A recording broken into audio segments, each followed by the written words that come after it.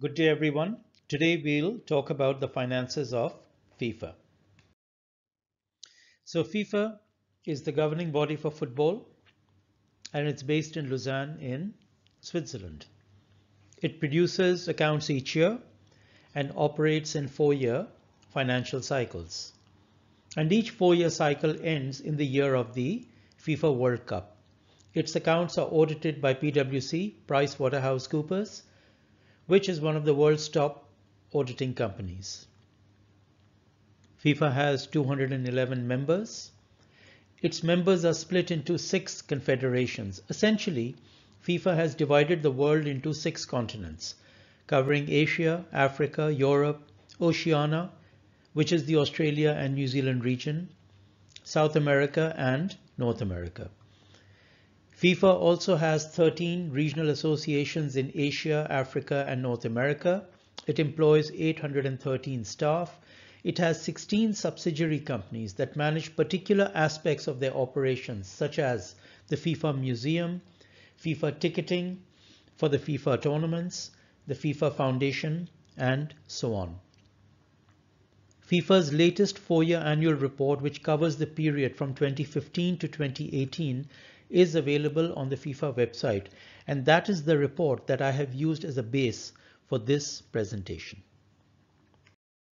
So let's have a look at FIFA's revenue and expenses for the four-year period. FIFA had revenues of $6.4 billion. It had expenses of 5.4 billion. It had a surplus before tax of $1 billion in the four-year period. And after taxes and interest income, it had a net surplus of $1.2 billion. Now let's see how that compares with prior periods.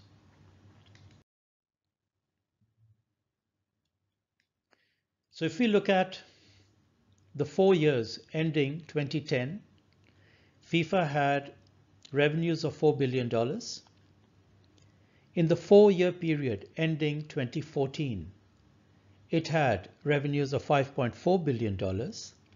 And in our period to 2018, it had revenues of $6.4 billion. So you can see that revenues have been increasing quite substantially and compared to 2010, the current revenues are up 58%. If we look at the expenses, the expenses have increased over the last eight years by 53% from 3.5 billion in 2010 to 5.4 billion in 2018. The surplus before taxes and interest increased from 557 million to $1 billion, which is an increase of 89%. And the bottom line number, FIFA had a net surplus of 631 million in 2010, which increased to 1.2 billion in 2018, which is an increase of 90%. So financially, FIFA has done extremely well over the last eight years. Let's have a look at FIFA's revenues of 6.4 billion over that four-year period. It received $3.1 billion for selling its uh, TV broadcast rights, $1.6 billion for selling its sponsorship and marketing rights, 600 million for licensing, 564 million in ticket sales, basically from the FIFA World Cup, 148 million dollars from hospitality sales, again from the FIFA World Cup, 123 million dollars in revenue from the FIFA Club World Cup, $44 million from the FIFA Quality Program. This is where FIFA basically endorses certain items for sale, such as merchandise and um, football equipment. It received 25 million from the IOC for Olympic participation, and it had other revenues of 130 million, for example, from the FIFA Museum. So $6.4 billion over the four-year period, which amounts to $4.4 million per day in revenues over a four-year period. That's pretty good. And if we look at the revenues of 6.4 billion from um, another direction, we'll see that 5.4 billion, 83% of that came from the Football World Cup 2018. Out of the TV broadcast revenues of 3.1 billion, almost 3 billion came from the World Cup. 100% of the sponsorship monies came from the World Cup. 96% of the ticketing revenues came from the World Cup and almost 100% of the hospitality came from the World Cup. So you can see that the FIFA World Cup is responsible for a very, very large percentage of FIFA's total revenues. So let's have a look at the expenses of FIFA for the four-year period. $5.4 billion. 1.1 billion was spent on the 2018 World Cup operational costs. 636 million was spent on various FIFA football tournaments such as the Club World Cup, the Youth Tournament, the Women's World Cup, the Under 20 World Cup. 448 million was spent on additional World Cup expenses, including the prize money of 400 million, and 1.5 million was paid to each participant to prepare for the event. 315 million dollars was in football club related expenses such as the FIFA Club Benefits Program of 209 million. This is the amount that FIFA compensates various football clubs such as Barcelona, Real Madrid, Manchester United, etc. for releasing their players for the World Cup. FIFA paid each club around $8,000 per day per player for the time that that player spent at the World Cup. In addition to this, FIFA entered into its club protection program insurance policy. That cost them $106 million. That is an insurance policy against risk of injury to players while they play in FIFA tournaments and who then cannot play for their clubs. FIFA spent $1.7 billion on football development and education. Out of that, $1.1 billion was paid directly to the members, confederations, and regions to develop football in their own territories. a 100 million was spent on the schools program for grassroots football development. Then there were amounts spent on technical improvements, refereeing, assistance programs, the FIFA World Museum, women's football programs, etc. FIFA also spends money on human rights programs and anti-discrimination programs.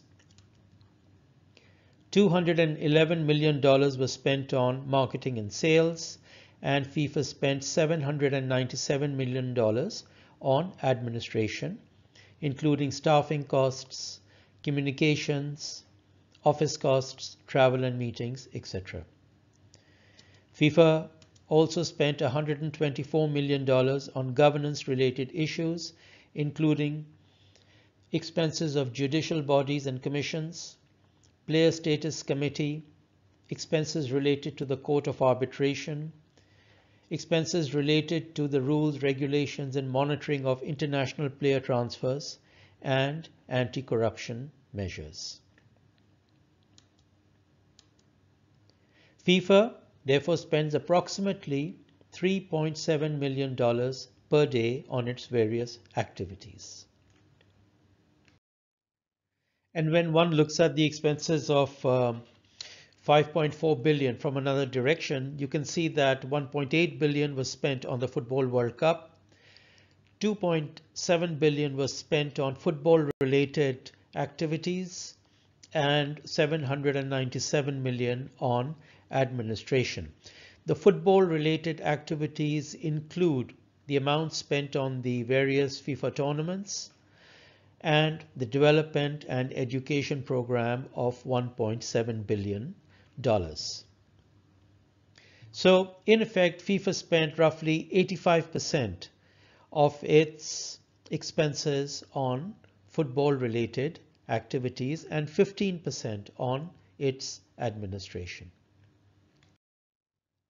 And during this four-year period, FIFA distributed $1.2 billion to its members and various confederations. This money is meant to be spent on the development and growth of football in your countries and in your regions. So members received directly from FIFA $922 million. $213 million were paid by FIFA to the confederations and $26 million was given by FIFA to the regional associations, all to improve the quality, standards and growth of football in their own areas. And if we compare the amount that FIFA has budgeted in its next four-year cycle for distribution to members and for the growth of football, you can see that the amount has increased from 1.1 billion to 1.7 billion, which is a 50% increase, an absolutely huge increase on the amount that FIFA expects its members to spend on football based on the amounts that FIFA will pay them. So the members contributions have increased by 51%. The amounts paid to the confederations has gone up by 35% and the amounts to the regional association has gone up by 138%. This is a great initiative by FIFA to make sure that its confederations, regions and members are well funded so that they can improve the quality standards and reach of football within their own countries and their own regions. And to give you an example of the sort of funding that FIFA gives its members, for example, the Afghanistan Football Association receives 4.4 million, Angola 4.4 million, Barbados 4.3 million, the USA 3.8 million, Brazil 3.8 million, and England 3.8 million. FIFA obviously gives more to those countries which need to set up a proper structure and need to invest much more money than those countries such as Brazil and the USA and England, where football is very well established and they obviously don't need as much money to develop football in their country as does a country like Afghanistan and Angola. Let's have a quick look at FIFA's balance sheet at the end of 2018. At the end of 2018, FIFA had reserves of $2.8 billion and it had cash or cash equivalents on its balance sheet of $2.8 billion. If you compare that to previous periods, you can see that FIFA's reserves went up from 1.3 billion in 2010 to 1.5 billion in 2014 and to 2.7 billion in 2018. It's an increase of 114% over the 2010 level. It's a very, very strong balance sheet that FIFA has.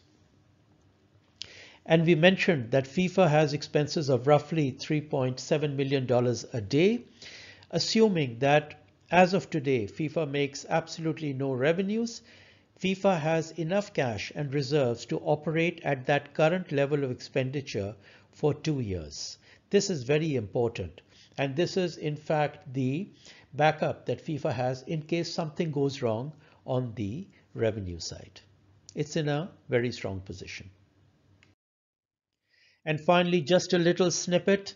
I had mentioned earlier that the prize money for the Football World Cup was uh, 400 million. So how was that actually uh, uh, made up and distributed? Well, that 400 million, uh, out of that uh, 38 million went to the champions, France. The runners-up, Croatia, received $28 million. Belgium in third place, 24 million, And England in fourth place received 22 million. Those teams ranked from number 5 to number 8 received $16 million each. Those teams that finished between 9th and 16th place received $12 million each, and the rest received $8 million each. That's, I think, a fairly generous uh, amount of prize money and participation fee that FIFA pays. Thank you so much for watching. I hope to see you all again soon. All the best. Bye-bye.